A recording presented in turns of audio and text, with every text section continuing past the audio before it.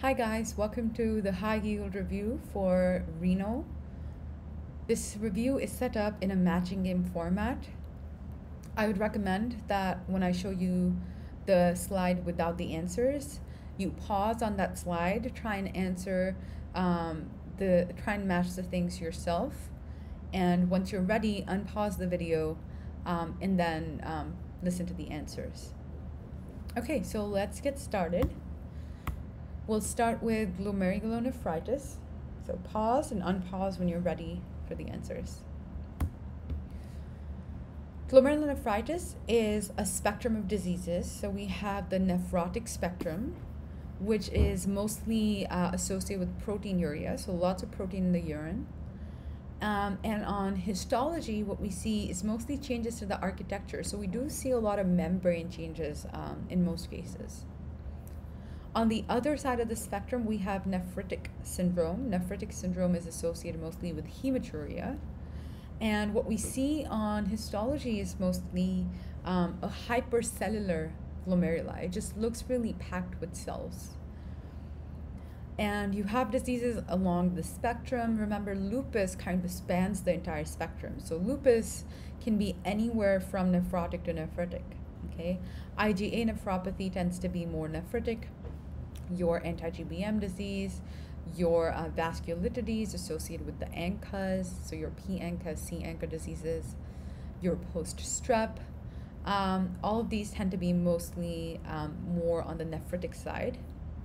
Then you have your minimal change, membranous, diabetic amyloidosis, focal segmental. These tend to be more on the nephrotic side. And then your membranoproliferative tends to be kind of in the middle. Okay, moving on to the answers. HIV is um, like I, like we said, it's it's um, mostly on the nephrotic side. It's associated, it's seen with focal segmental glomerulonephritis, which is mostly nephrotic. Um, hepatitis is associated with membranous and membrane proliferative, again, mostly nephrotic. GBS, group B strep pharyngitis, like we said, is associated with our acute proliferative uh, APGN glomerulonephritis, and you're going to see those anti-streptolysin O titers in the kids. Wegener's or C ANCA is that small vessel vascularity, which, uh, like I said, is um, the, your ANCAs, your P ANCA, C ANCAs. We call them the pauci immune glomerulonephritis, where we don't see any immune, immune complexes. Um, so pauci immune is actually one of the diseases we see that falls under the category of rapidly progressing glomerulonephritides, RPGN. So, what are some things we see in RPGN? We see pauci immune, we see our Goodpasture our anti GBM, and we can also see immune complex mediated. So, your lupus, your acute proliferative that um, can progress to an RPGN or a more serious condition. And we see IgA nephropathy. RPGN progresses to uh, your end stage kidney disease or your chronic kidney disease. So it is it is concerning. Okay, going back to our number five, Henoch-Schönlein purpura. Um, this is you know your IgA nephropathy. Um, you're going to see those purpura on the skin, and uh, we it's we call it the the Berger disease. Okay, it falls under the Berger disease. Then no complex formation and seen in kids. This is our minimal change disease, which is usually self-limiting. Uh, minimal change happens to be more nephrotic than nephritic. And then hematuria with nerve deafness and ocular defects. These three, they're like the triad of symptoms seen in Alport's disease. Okay. Moving on to acid base. Again, pause and unpause when you're ready. So acid base disorders, you see ethylene glycol and antifreeze overdose gives you a high anion gap metabolic acidosis. It's the E in mud piles diarrhea diarrhea uh, gives you a normal anion gap metabolic acidosis. It's the d in hard ups and i'll show you these mnemonics. Copd um, remember these are um, hyperinflated lungs. They hold on to a lot of carbon dioxide. Carbon dioxide is acidic so this is respiratory acidosis. Salicylates anxiety pulmonary embolisms things that make you hyperventilate and lose carbon dioxide they give you um, respiratory alkalosis. And then vomiting is you're losing all that stomach acid. That's just how I think of it. And then eh, that's going to be then your metabolic alkalosis since you're losing um, acid. Okay, so that's your mud piles and hard ups. Um, the D in mud piles is your diabetic ketoacidosis. The D in hard ups is diarrhea, so don't confuse them. Secondary renal disease, pause, and then unpause when you're ready. Diabetic nephropathy. With diabetic nephropathy, we see pyelonephritis with papillary necrosis, and we also see arteriolosclerosis. Okay, so we do see changes in the arteries, arterial walls. Multiple myeloma. Multiple myeloma is associated with those amyloid light chains and uh, the Bence Jones proteins that are excreted in the urine. So, very important. Third is our TB, bronchiectasis, rheumatoid arthritis. These are also amyloid associated um, um, diseases that can lead, progress to secondary renal disease. Lupus, like we said earlier, is kind of all over the spectrum of glomerulonephritis, but we also see mesangial and subendothelial deposits with lupus. Um, essential hypertension. Essential hypertension is uh, more of a chronic hypertension. So, with chronic long term hypertension, we see granular contracted atrophic kidneys. Compare this to malignant or more acute hypertensive episodes. We do see um, swollen kidneys, big kidneys with those pinpoint hemorrhages or the flea bitten appearance. And then last is renal artery stenosis. Renal artery stenosis in younger women, uh, mostly women, we do see this condition called fibromuscular dysplasia, where, where the renal artery appears like beads on a string. In older, uh, mostly men, or older folks, if we see renal artery stenosis, it's mostly due to atherosclerosis.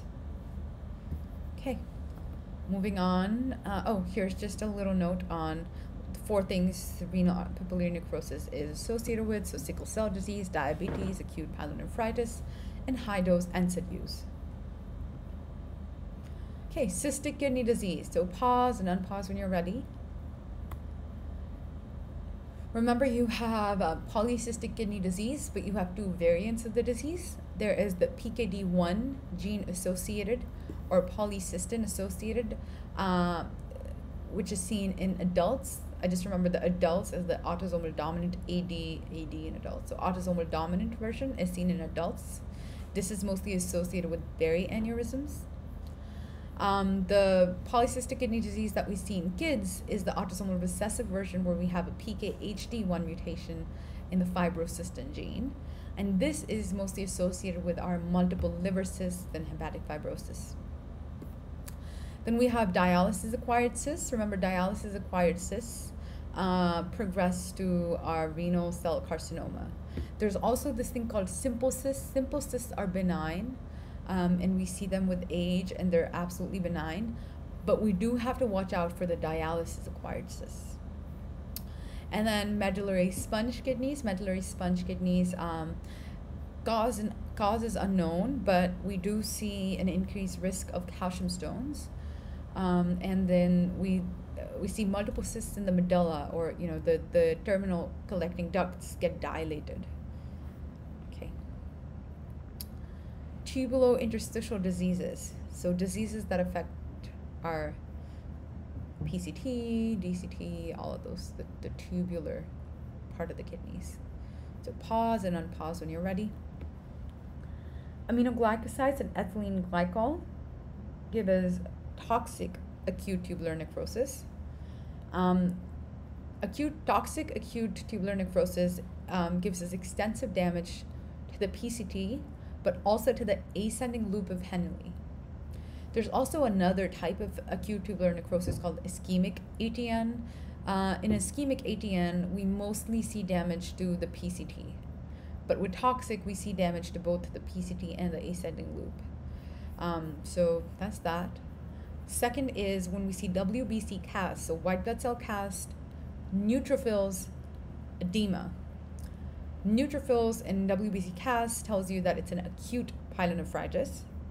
Um, with acute pyelonephritis, we see enlarged swollen kidneys with papillary necrosis.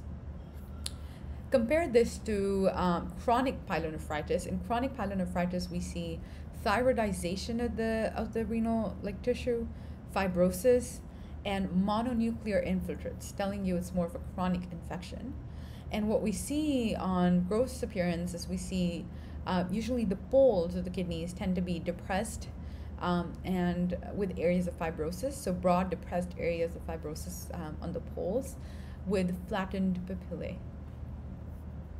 Next is our post chemotherapy. Uh, post chemotherapy, we can get a tumor lysis syndrome because of all the tumor cells dying. And when they die, they release a lot of uric acid, and uric acid, acute uric acid crystals um, can give you, um, you know, interstitial disease. Specific, you know, specifically they collect in the medullary rays. With chronic um, uric acid, we see uh, more of a gouty appearance of the gouty appearance. We see little tophi um, on gross appearance. And then multiple myeloma is your associated with your Bence-Jones proteins. Renal tumors, renal tumors. So pause and unpause when you're ready. Oops, sorry. Angiomyolipoma. Um, you can actually break it down. Angio, blood vessels, myo, muscle, lipoma, fat. Uh, so it's kind of affecting all of those. Angiomyolipoma is a benign tumor in the kidneys at first, can progress to malignancy. Um, it is associated with tuberous sclerosis. Um, another one uh, that you've probably seen in the cardio module is rhabdomyoma, which is also uh, associated with tuberous sclerosis. Okay, and then oncocytoma, uh, you basically see cell packed with mitochondria in this one. It's an, another benign tumor in the kidneys, and on electron microscopy, we're going to see a lot of mitochondria. Von Hippel-Lindau syndrome affects your kidneys, cerebellum, retina, pancreas. Um, so in the kidneys, what you get is clear cell renal cell carcinoma, you and associated with uh, the hemangioblastoma in your retina and cerebellum, pancreatic carcinoma. It's just like a syndrome. It's a group of disorders. And uh, renal cell carcinoma, remember it is, um, it has a strong paraneoplastic syndrome. That's usually how it's diagnosed. You can remember the, the mnemonic pair. So PTH, PTH, parathyroid, erythropoietin, ACTH, and renin are what are secreted by this cancer um, and usually presents with one of these paraneoplastic syndrome in the patients. And fifth is nephroblastoma, also called Wilms tumor. It's the most common pediatric tumor. Um, and on histology, you see blastemas or clusters of undifferentiated primitive cells. If it's in one kidney, unilateral, which is um, 90% of the times, it's uh, curable. If it's bilateral, uh, which we see 10% of times, um, that can lead to some problems with the treatment and prognosis. Okay, microbiology, just one slide on this one. So just some high yield stuff for UTIs. Pause and when you're ready, unpause. UTIs, you have um, nitrite positive coffin lid crystals. This is something you see with uh, your proteus infections or your struvite stones, right? So proteus and Klebsiella both give you struvite stones. And then second is a young woman sexually active organism is nitrite negative. This is your staph saprophyticus or honeymoon cystitis. Um, another one that's really common uh, in young women sexually active, but the organism is nitrite positive, would be your E. coli. Very, very common.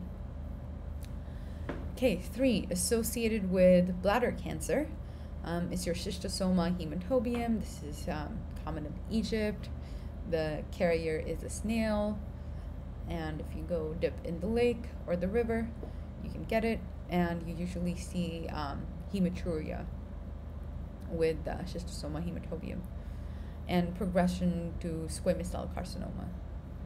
Okay, fourth is your nitrite negative, catalase negative. This is your Enterococcus faecalis. And fifth is your P. fimbriae virulence factor. And we see P. fimbriae virulence factor in E. coli, which is nitrite positive, and one of the most common causes of UTIs. So just to show you pictures of your stones, you have calcium oxalate stones, um, which are envelope shaped. Uric acid are more of like a rhomboid shape. Struvite are coffin lid, and then cystine crystals um, are hexagonal shaped. Okay, and the last slide for pharmacology. Again, this is not um, extensive, but it, it is some high yield stuff. So pause and unpause when you're ready. Increase H plus excretion in the collecting ducts. This is your thiazide diuretics. They cause metabolic alkalosis. And um, so the answer here is C because they inhibit our sodium chloride transporter in our DCT. Remember that the opposite of this are your, um, um, sorry, my bad. Um, your diuretics that cause metabolic acidosis are your carbonic anhydrase inhibitors. Okay, so they would do the opposite of this. The carbonic anhydrase inhibitors cause metabolic acidosis. Okay, going back to um, second, treat Neisseria gonorrhea. And for Neisseria gonorrhea treatment, you would use a generation 3 cephalosporin, which is your ceftriaxone treat chlamydia, you would use either your azithromycin, which is a 50S macrolide, or doxycycline, which is a 30S um, inhibiting tetracycline. Usually, if someone comes in with gonorrhea, we end, up, end up giving them ceftriaxone with doxycycline just to cover them for a possible chlamydia infection as well. Okay, so you usually treat both together. Next is our treat Enterococcus faecalis pyelonephritis, and our beta lactams are um, our drug of choice for Enterococcus, so ampicillin would be a good one. And treatment of congestive heart failure, your loop diuretics are great for heart failure. And um, that would be B, they inhibit the sodium potassium chloride transporter in the thick ascending loop. Okay, so that is it thank you guys um, for listening to me, and I hope you um, enjoyed this review session. I will be posting the link to access these accessing these slides in the description um, if you want to use these slides to study. Thank you.